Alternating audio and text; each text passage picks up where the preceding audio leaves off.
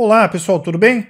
Thiago da Capitalismo falando. Antes de mais nada, peço aí para quem não é inscrito se inscrever no nosso canal, para quem gostar do vídeo, dá um like, compartilhar e também para quem não ativou o sininho para receber as notificações dos novos conteúdos, fique à vontade.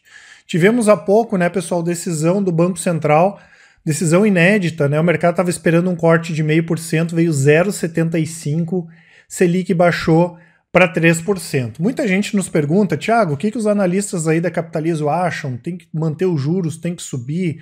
Tem essa questão do dólar, vai ter inflação, não vai ter inflação. Até para a gente falar de uma maneira mais prática, né, pessoal? Uma coisa é o que a gente gostaria que acontecesse, outra coisa é o que deve acontecer, tá? Então, o, nas últimas reuniões, o Banco Central vem dando sinais claros que enquanto a inflação não incomodar, os juros vão continuar caindo. E é exatamente isso que vem acontecendo. Mesmo com o dólar mais alto, né, alguns alimentos subiram, mas os combustíveis, apesar da alta de hoje, caíram. A gente tá numa uma depressão econômica, né? Quando a gente pega o número do pelo menos os últimos um mês e meio para cá de varejo, de vendas, enfim. Então, hoje a gente vive num período deflacionário. Claro que isso pode mudar ali para frente, né? Mas a gente entende que quanto não tiver algum número uh, pipocando ali na, na, na tela do computador do Banco Central, eles vão continuar baixando juros, tá? Inclusive, quando a gente pega a ata ali da reunião, né, o comunicado da reunião, desculpe, o que está escrito?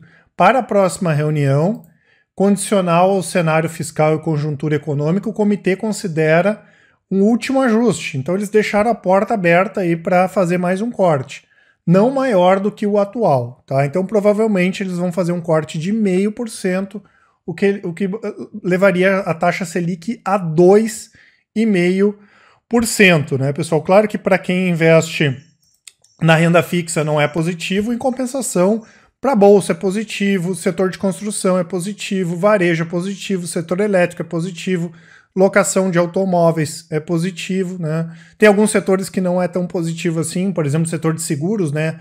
Que pega o valor do prêmio e aplica no mercado financeiro, já vinham sofrendo um pouco ganhos financeiros. Isso pode continuar acontecendo para fundos imobiliários também é, também é positivo, tá? Então, sinal aberto aí, escancarado, que na próxima reunião a gente deve ter a taxa Selic em 2,5%. E mesmo para aquelas pessoas que comentam, poxa, Thiago, mas não faz mais não faz tanta diferença porque as pessoas estão em casa.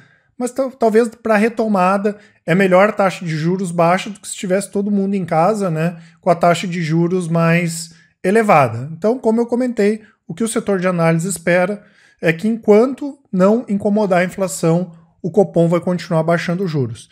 E aproveitando, né, pessoal, que os juros estão caindo, quando os juros caem, os dividendos das ações dos fundos imobiliários ficam mais atrativos. Quero pegar essa lista aqui que saiu no, no início da semana no Money Times, tá uma, uma, um ranking aqui da Economática, tá?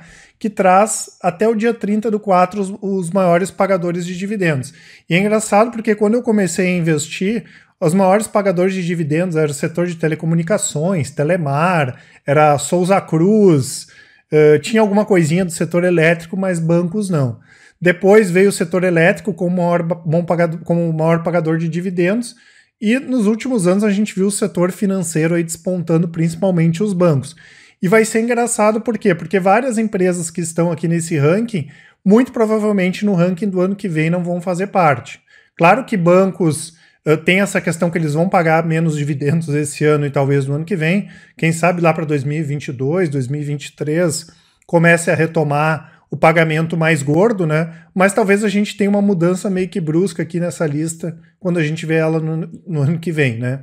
inclusive, antes que vocês perguntem, a gente já vai elaborar um vídeo também mostrando alguns setores que possam ser, possam virar como bons pagadores de dividendo aí nos próximos anos. Então, quando a gente começa aqui, né, pessoal, Cirela, tem dois do setor de construção civil, Cirela MRV, que é um setor que vai sofrer bastante agora, teria a possibilidade das empresas que estão bem mais bem capitalizadas distribuir uma coisa de dividendos, sim, mas essa possibilidade é muito baixa, né? Então essas empresas aqui devem diminuir o yield quando a gente pensa na virada do ano, tá? BB Seguridade possivelmente possa estar na lista o ano que vem, mas vale a pena a gente lembrar que BB Seguridade também foi, foi impactada com itens não recorrentes, como uh, redução de capital, venda de participação de empresas, reestruturação da companhia, que nos últimos anos acabaram trazendo alguns não recorrentes, mas ela é uma boa pagadora de dividendos. Nós temos a CCR também, né, que teve uma, uma diminuição abrupta no, no tráfego das estradas, né, em função das quarentenas, mas tem uma possibilidade sim de se recuperar depois que as quarentenas forem, forem cessando. Né? Lembrando que tanto o BBC. Lembrando que uh, eh, CCR vai divulgar os resultados no último dia 14 e BB Seguridade já divulgou os resultados. Em quinto lugar está a BR Malls. Essa aqui com certeza não vai estar tá no ano que vem. Por quê? Porque boa parte do que foi pago em BR Malls foi em função de venda de ativos, eles venderam shoppings, né? Por sinal, eles fizeram uma bela reestruturação na carteira, mas infelizmente veio essa questão do coronavírus e até os shoppings voltarem a estar com estacionamento cheio, cinema cheio, lojista pagando em dia, isso aí vai demorar mais um tempo. Aqui nós temos em sétimo lugar a Taesa, né? O setor de transmissão dentro do setor elétrico é um setor que deve sofrer menos, né? Então tem a possibilidade sim, né, da Taesa voltar aqui ao ranking no ano que vem. E até aproveitando, pessoal, amanhã a Taesa fica ex proventos, deixa eu só abrir aqui, ó.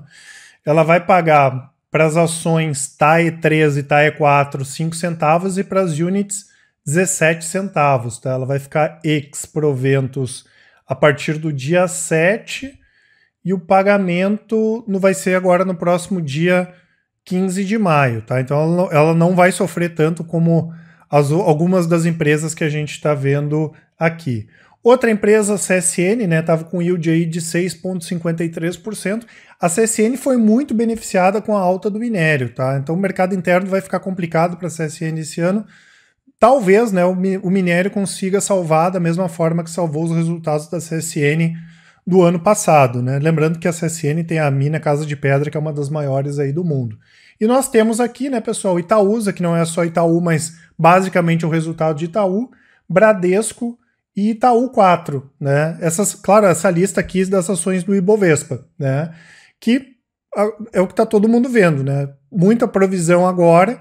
Esse ano, em termos de dividendos, vão pagar bem menos dividendos do que, do que pagaram aí nos últimos 12 meses. Então tem algumas aqui que vão ficar sob suspense, mas provavelmente na lista do ano que vem BB Seguridade possa estar, CCR e também a Taesa. As outras vai depender aí, vai depender bastante de quanto lucro elas distribuírem pagar de, pagar de dividendos. Né? Então talvez no ano que vem a gente veja uma lista diferente das últimas, né, com menos setor financeiro e com, com mais empresas de outros setores. Quem sabe o setor elétrico volta, né?